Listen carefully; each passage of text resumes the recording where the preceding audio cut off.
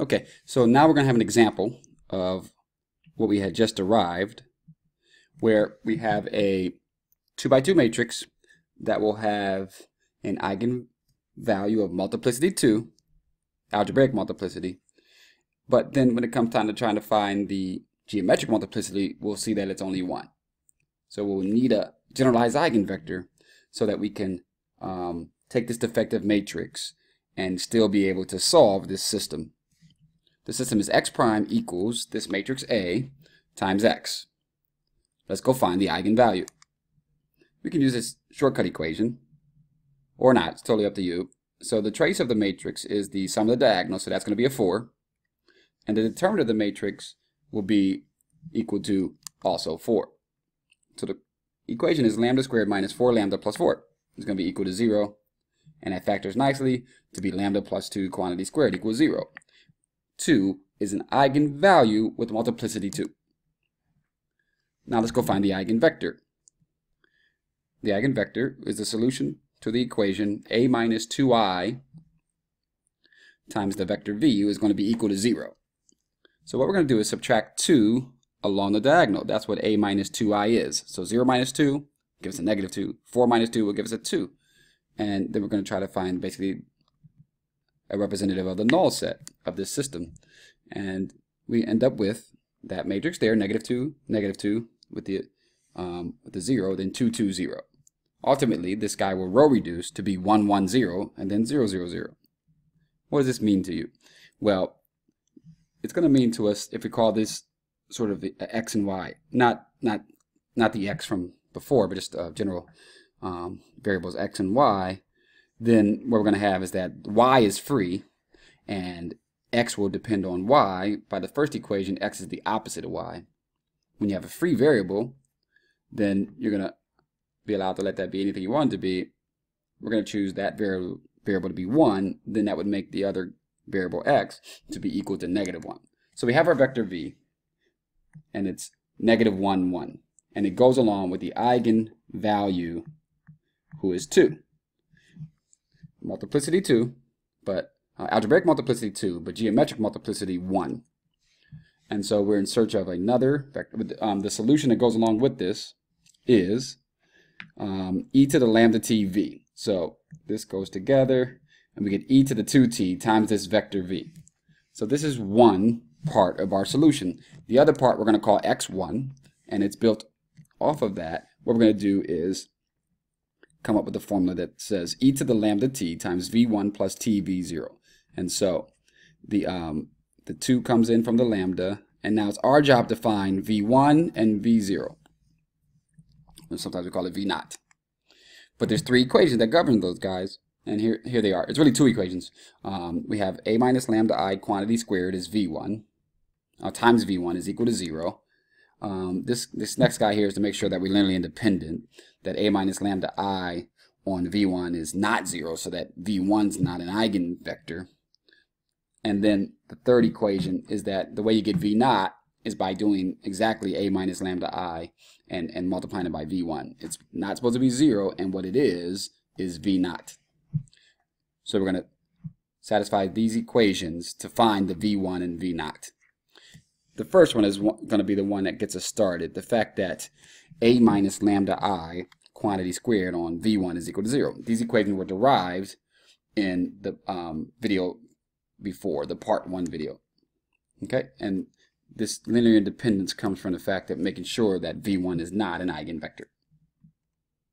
Okay, great. So let's look at exactly what a minus lambda i quantity squared is. Lambda is 2, so a minus 2i quantity squared. Now we saw what a minus 2i looks like. This is a minus 2i. And now we want to square that. So we take two of those and multiply it out. When you see a matrix full of uh, factors that you could factor out, then do that. It makes the calculation easier. We could do it for both. Take out the 4. And what's left, when we go to multiply this, what happens is we get a matrix full of zeros. We get positive 1, but then minus 1, 0. Then we get positive 1, then minus 1, 0 again. Negative 1, then 1, 0, and then negative 1 and 1, 0. So we get the 0 matrix. So it turns out that A minus 2i quantity squared is 0 itself. This equation that, that has to be true then gives us some freedom. Doesn't really matter what V1 is. A minus 2i quantity squared itself is already 0. So we have freedom to choose V1 to be whatever we want. We got to make sure, though, that V1 is not an eigenvalue. You got to make sure the V1 that we choose isn't um, a, lin a, linear um, um, a linear combination of the the original vector V, and so um, a, a multiple of that. So here we go. We um, generally, when you have freedom of choice like this, you want to make things simple by making one part one while the other part is zero. And so this doesn't have to be the choice, but here it is. We choose V1 to be equal to 1, 0. By choosing V1 being equal to this, we then need to go find out what V naught is. Remember, just to make sure that this guy is an eigenvector, we know what the eigenvector is, but just to make sure, we go and multiply this out and make sure we don't get 0. In fact, what we are going to get will be what we call V naught. So multiplying this out, basically we're getting the first column here. We're getting the fact that we're getting a negative 2, then a 0, then we're getting a 2, then a 0. We're getting the first column. This guy is not 0. That's good. It's not an eigenvalue, an eigenvector situation. And um, what, what we call that guy is V naught. We have these equations to solve. We want to make sure that a minus 2i quantity squared on v1 is 0. Make sure that was true by finding the v1 that made it happen and then the fact that a minus 2i on v1 is equal to v naught. Make sure that happens. And when we were picking our v1, we wanted to make sure that it isn't some constant times um, the eigenvector from before. And to do that, we just make sure that a, mi a minus um, 2i on v1 was not 0. And so we have it. v naught v1, and we put these together to make up our x1. It's e to the lambda t with v1 plus t v naught. And we're done. The final thing is to put them together in a linear combination. We have this guy here who is c1 x naught, and then this guy here who is C2x1. Okay, and you could you could write them in the following way where you factor out the, the t and so it becomes c1 times one vector and c2 times another vector. And therefore we have solved the system. There are there um each each row here is a solution to the system. We could have written it as this manner. It doesn't look as nice and concise as as what we have here, but we could have written it as uh, C1, uh, negative C1 e to the 2t um, plus C2 minus 2C2 e to the